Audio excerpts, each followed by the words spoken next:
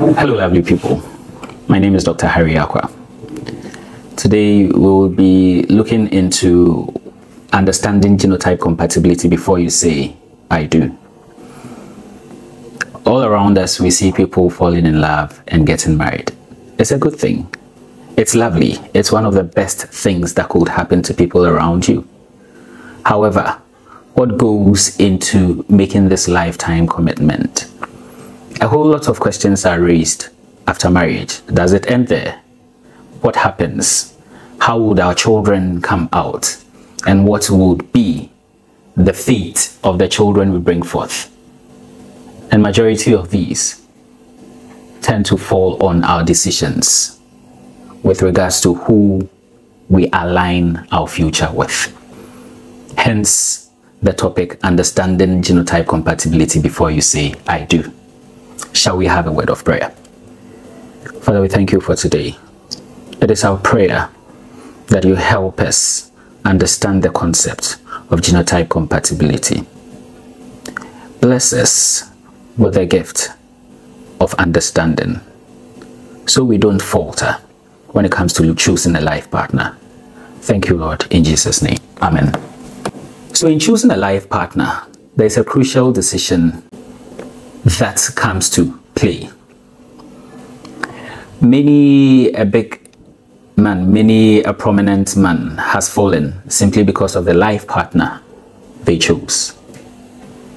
A number of decent women have had their life in tatters simply because they chose wrong.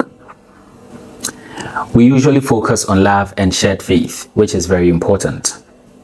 However, there is a key aspect that often gets overlooked, and that is genotype compatibility. In this video, we are going to look at what genotype compatibility is and why we should care about it and how we can approach this sensitive topic from a Christian perspective. Now, the genotype of an individual is a chemical composition of their DNA, which gives rise to the physical and observable traits. And these, most of the time, are inherited from parents. For instance, the blood type, the eye color, the color of your hair, the tendency to have um, a receding hairline in future, or even your height. There, there are more. Now, when it comes to blood, there are two common types of biological characteristics that play a crucial role in determining the various aspects of human health and compatibility to every individual. These include the blood group, typically the ABO grouping, as well as the rhesus grouping, which is not often talked about but also very important. And the second one being the genotype, when we refer to sickle cell disease in particular. So the question is, what is genotype? Genotype is the genetic makeup of the cells of humans based on the type of hemoglobin present in the red blood cells. Now, in fact, when we talk about genotype here, we are making reference to sickle cell and what um, comes along with it. Genotype in general simply refers to the genetic makeup of an individual. But genotype in reference to sickle cell disease has to do with the genetic makeup of um, the cells of the individual with reference to sickle cell disease. Now, there are many of these genotypes in question. The common types around include AA, AC, AF, AS, SC, SS, CC, the thalassemia traits, which include beta and alpha thalassemia, as well as the other not so common ones. Now, I believe at this point, people are asking, what are these uh, letters this gentleman is talking about? Now, for every healthy individual, the predominant genotype in your body with reference to sickling is the A, and we call it the adult hemoglobin. Now, these genotypes determine the structure and the characteristic of the hemoglobin you are going to produce as a person.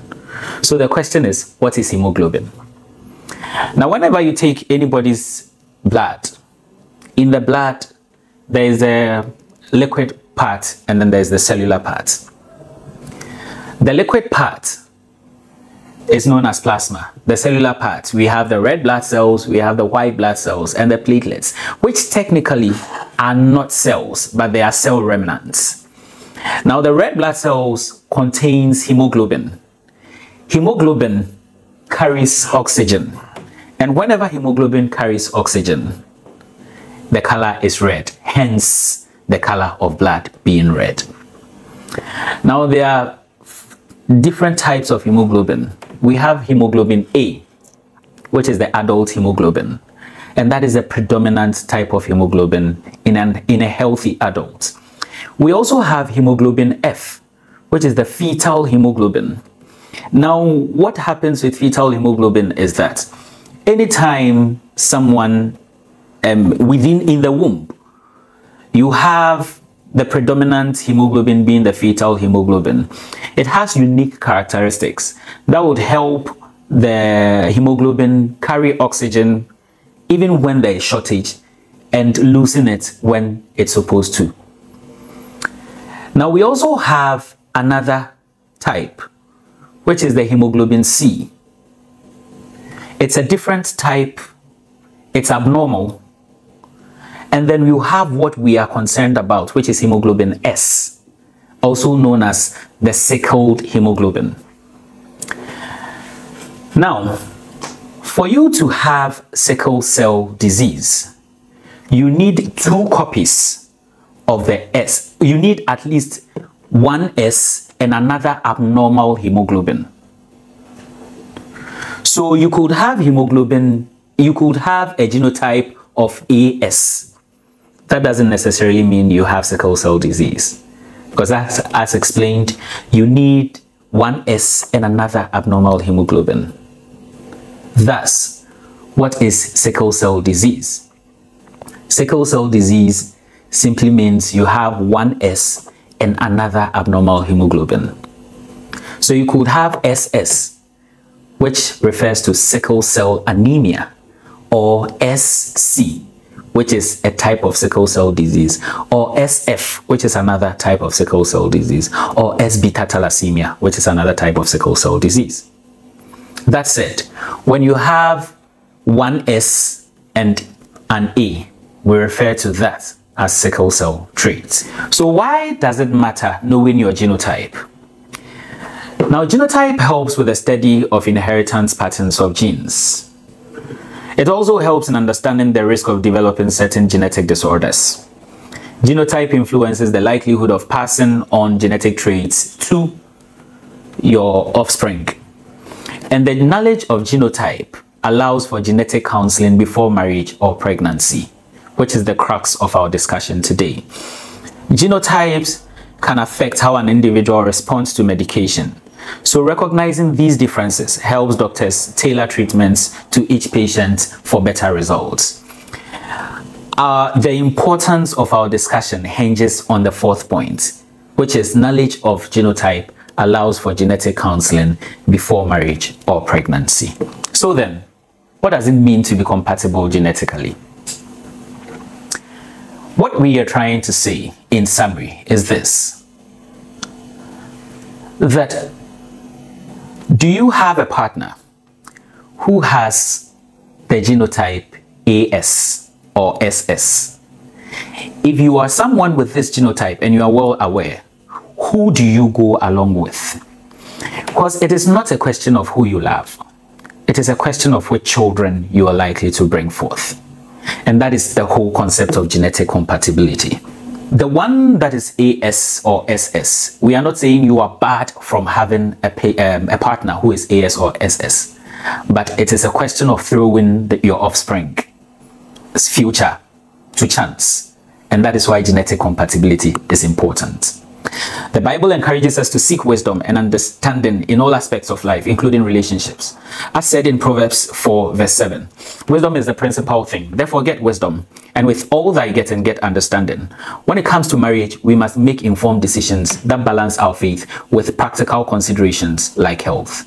Just as we trust in God for guidance, we should also trust Him to give us wisdom to make sound decisions. So in summary, if you're in a relationship or considering marriage, it is crucial to discuss genotypes early. And when we say genotype, we are talking about sickle cell genotype. Get tested and share your results with your partner. If there is a risk of any hereditary illness, seek premarital counseling to explore your options and to make informed decisions together. Many couples also find it helpful to speak with a genetic counselor. Remember, these decisions should be bathed in prayer, guided by both spiritual and medical advice.